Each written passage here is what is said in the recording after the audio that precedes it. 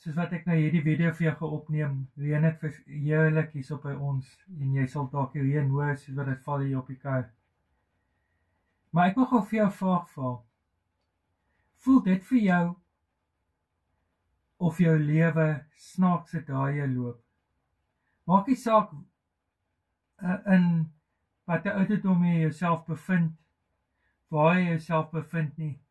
Op een of ander tyd maak die lewe snaakse dae, dinge wat buite jou beheer is.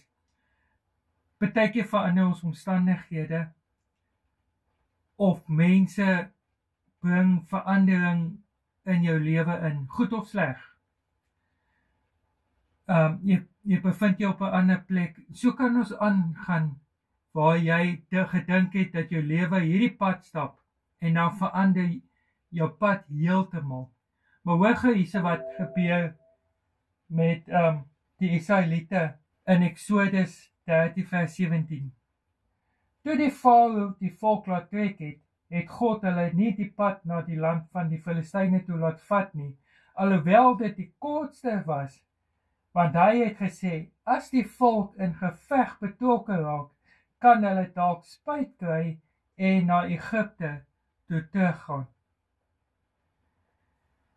Jy weet partykeer of meeste van die tyd moet ons God vertrou op die pad waar waar jy nou ons lei. Al maak dit nie vir ons sin nie. Of of verstaan ons dit nie, al weet ons nie waartoe ons gaan nie.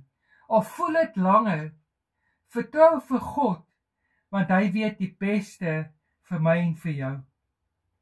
En ek wil vandag vir jou uitdaag, daar waar jy jouself bevind in 'n in 'n oomblik waar jy nie weet waartoe jy op pad is nie, dat jy God sal vertrou dat hy jou op die regte pad sal begelei en jou op die regte eindbestemming sal bring.